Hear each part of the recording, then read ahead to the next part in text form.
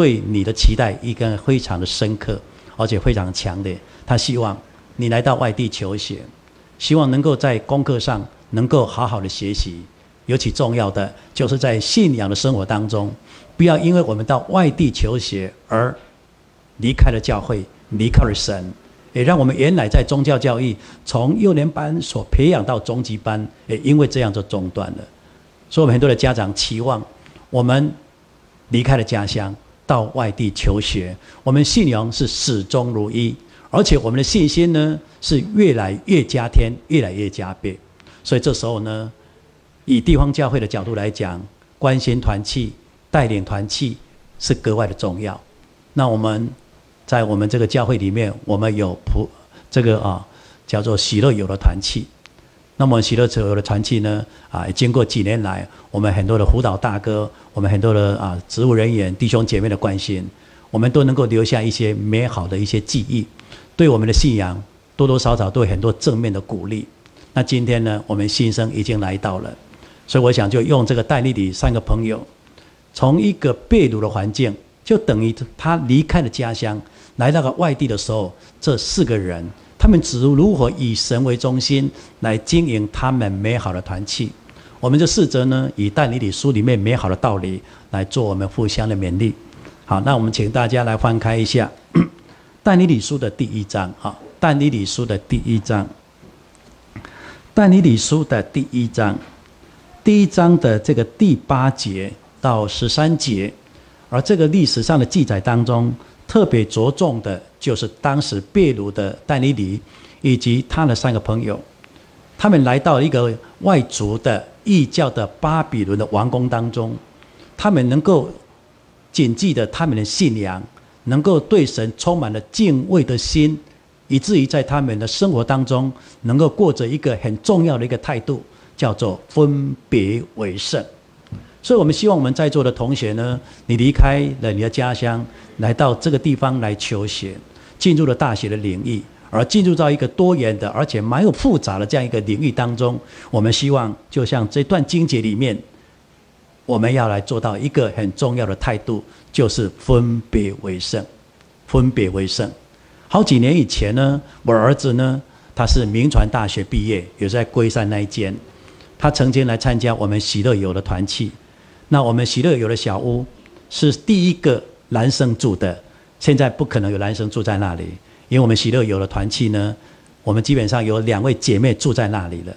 那我儿子呢，在读一年级跟二年级的时候呢，他老爹呢就是我刻意设计他离家背景、离学校远一点的地方，就来到我们林立明执事，也就是现在我们的啊喜乐有的小屋。他就住在那里。那么他一年级、二年级住在那里之后呢，他发现 离学校蛮远的，骑个摩托车蛮久的。后来呢，他说他要在学校附近来租房子，所以二年级跟三年级呢分别租了两次啊宿舍啊这个所谓的套房哈。但是呢，我们去看的时候呢，我们总是一个隐忧啊，哎，房租蛮贵的，那品质不怎么好，而且感觉很潮湿，而且很吵杂。隔壁那个同学，隔壁那个社会人士，感觉好像不怎么，这不怎么理想，所以我们有时候在担心呢。儿子说：“不用担心，我长大了，你放心。”我当然可以放心，可是就放不了心呢。在他大四要毕业的时候，大四要毕业的时候，我们一直希望他能够继续来读研究所，因为他是读教育心理智商的，所以应该读个研究所，对以后考这个智商师绝对有帮助。可是，在那一年的时候呢，他在做什么？那一年的时候呢，他去打工了。在四年级大概下学期的时候呢，正是在课业非常啊看重的一个时间点，他去打工了。他去那个啊烧烤日本烧烤店呢，担任那个前面的啊那个服务员，也就是点什么菜啦，我帮你烤烤这个肉吧，类似这个工作。那后来我们也知道了。那他也要毕业了，那我们就去他打工的地方去看一看。而打工人老板呢，他特别来跟我们说声谢谢，哎，谢谢你的孩子，非常乖巧，非常听话，非常懂事，非常积极。所以呢，我们这个工，我们这个餐厅啊，好有了他，哇，让我们能够很多啊方便的地方。他的这种赞美的话呢，我听里面有点难过，你知道吗？我儿子不是在赚钱的，儿子应该来读书。可是我儿子说，读书固然重要，社会经验也不可少。好了，我就尊重你。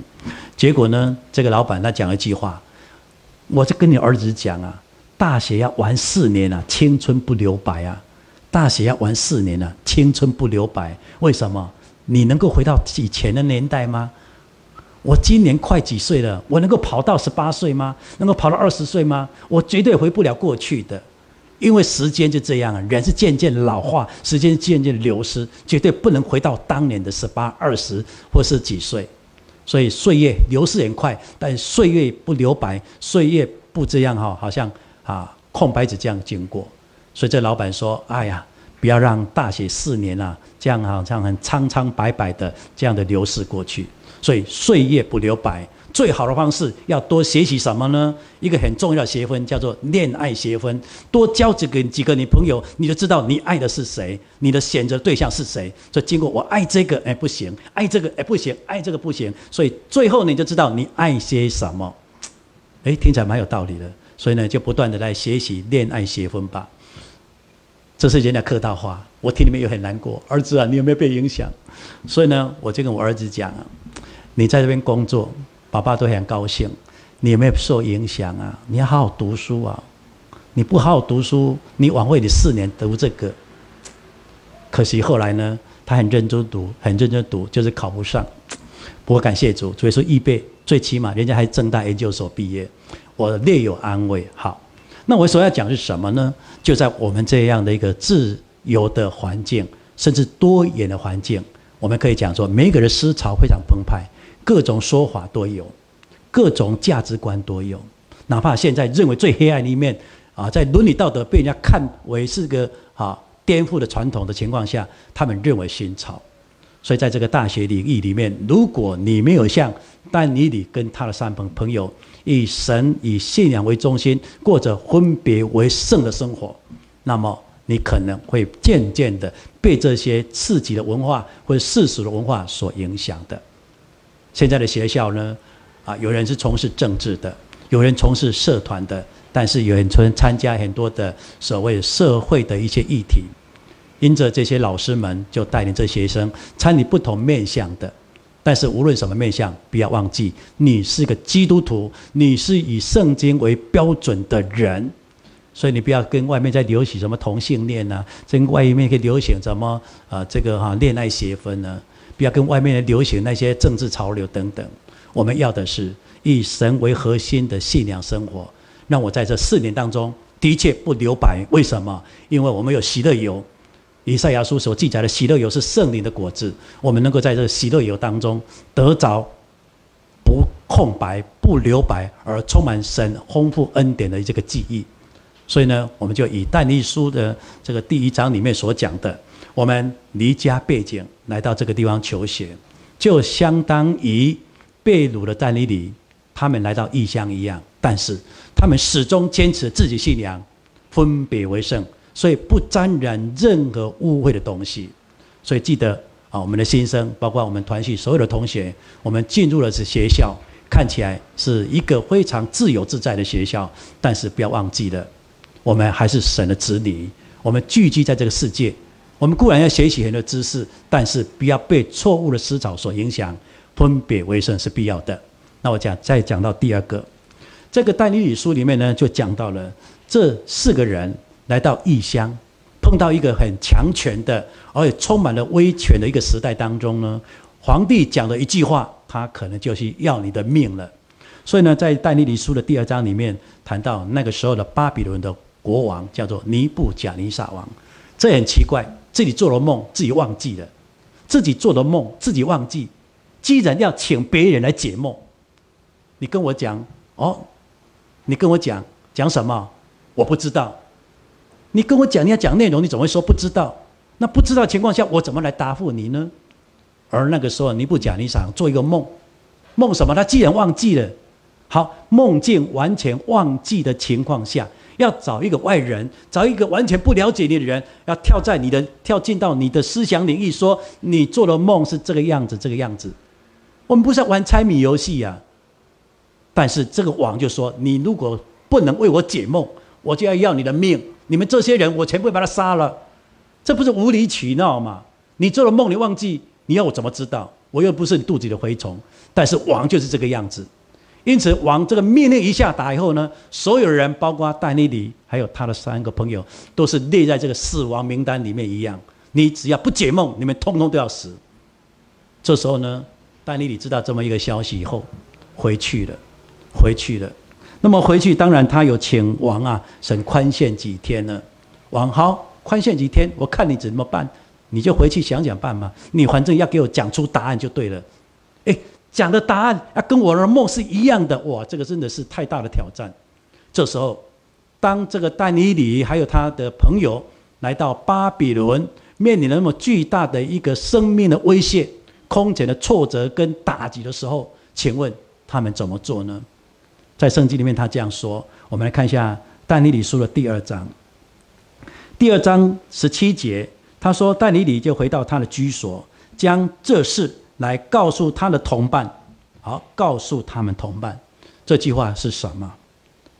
就是把我们所面临的威胁、心中的难处，甚至我们未来的困境，我们都能够勇于来做分享了。”有很多时候呢，我们就把我们的心事，把我很多的瓶颈压抑在我们内心的里面，而这么一个压抑之后呢，变成什么？变成一个钻牛角尖。我们没有一个合适的一个朋友、一个同学、一个长者来跟我们说说看，应该怎么做比较好。所以我们没有一个所谓的参照者，我们没有一个指导者，我们变成什么？把自己的想法压抑在这里。而不单压抑得不到正确的答案，我们甚至转牛，钻到一个牛角尖了。这么一钻呢，就钻进去了，钻进去又钻不出来了。所以这时候呢，你就变成很怪异的人，变成很偏激的人，变成一个很主观的人。所以人家感觉你怪怪的。可是呢，我们一个基督徒进入到属神的一个团契当中。我们离家背景，进入到这么一个分别为圣的团体。我们希望我们同学呢，就像组里面的弟兄姐妹一样，我们一起的团契。我有难处，我找个要好的朋友说说看，听听看。当我说，我心情很舒服嘛。当我听，我最起码照这个一个方向嘛。我自己该就我的能力，就我的环境，我所能够做的有哪些？你最起码有了谱嘛。可是你都不说啊，你就压抑了，而这样对你的灵性来讲，会对你人格的发展来讲，基本上它是扭曲的。所以这里就告诉我们，将所要的告诉他的同伴。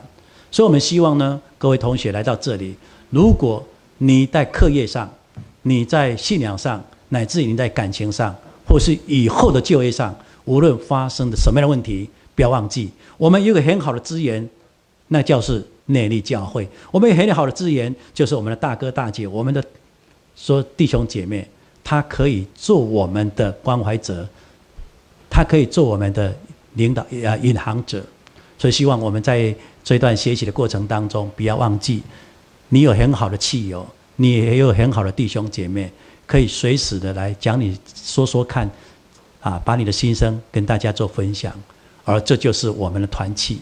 希望我们团契大家呢能够互相关心。那如果有人愿意把心事来跟你分享的时候，绝对不要玩玩玩玩一个游戏，就是用否定的、用责备的、用轻看的，绝对要做到一点叫倾听，用同理的倾听，用圣灵里的倾听来感受他的不足，感受到他的难过。那么我们就能够以哀伤的人同哀伤，与喜乐的人同喜乐。那我们这样的分享会倍得荣耀。我们这样祷告会受到圣灵的充满。所以，请各位这个部分一定要做到。最后一个呢，在这个第二章的十八节里面，他们这些人呢，除了把自己的心事说出来，寻求一个重要的一个哦共识或者解决方式，更重要的是什么？在十八节说，要他们祈求天上的神施怜悯，将这奥秘的事呢指明，免得但尼里和他的朋友与巴比伦其余的哲士呢一同的灭亡。这里面有一个很重要的是祷告，一起祈求。所以，当我们碰到任何困难的时候，我愿意跟你分享，我也愿意倾听。但是人就是人，一定有瓶颈，一定有困难的，一定有很多无法超越的一个现实面在那里。这时候怎么办？团契重要的，除了以道理互相分享、来承担、来扶持、来同行之外，祷告是不可少的。所以希望我们啊，喜乐有团契也也都能够重视祷告。我印象中，我们喜六有每一次在这个团聚的聚会，在用餐之前，我们大概都是五点啊，几点开始祷告会？啊，我们几点祷告会？六点半是不是？好，那请同学记得什么言啊？几点？一二三，第三位几点？啊？哎，六点半，哎，圣言啊。我忘记你名字，品言哦，哎，好品言，无形中改成圣言，好，不然讲真言也不错，好品言，好，我们有这么一个时间啊，希望大家呢各自在各个啊这个领域里面好好求学，那么我们多多的祷告，为我的信仰祷告，为了课业祷告，为我的未来祷告，常常用祷告当中。就像这个经文里面说，祈求天上的神怜悯，让我们能够明白这个奥秘，所以求神能够帮助，借由圣灵来引领我们，让我们四年不留白，而让我们四年当中，我们有属灵的团契、属灵的同伴，让我们能够走这一条永生的道路。尽管它曾经是坎坎坷坷，可是我们曾经扶持过，而让我们人生有一个美好的回忆，让我们未来呢重要的。有神的灵与我们同行，